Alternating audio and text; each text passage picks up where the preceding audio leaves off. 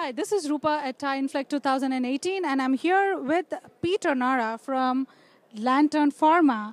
So I understand you're in business development at Lantern Pharma and wear multiple hats. Yes, that's correct. I've been uh, a serial entrepreneur now for about 20 years, and this is the second company that we're excited to be here and win one of the TiE 50 awards. So, what brings you to TIE Inflect? Really, uh, to get the award and to describe to investors what the new opportunities are in healthcare in the cancer oncology area.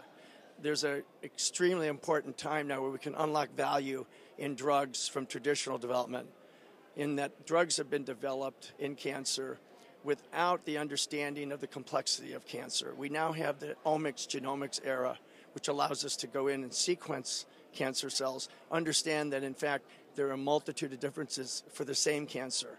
And so when drugs typically have come through the regulatory pathway, they are matched with, in clinical studies, with a mixture of cancer types and hence a large failure rate.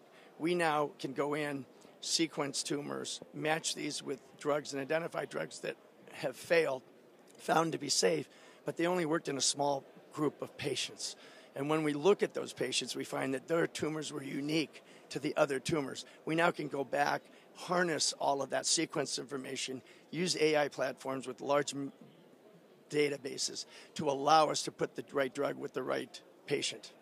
Fantastic. Well, looks like you are not only business into business development, you're into research too. The way you spoke just now about your whole solution, right? So wonderful talking to you, and thank you for visiting TiE TV Light.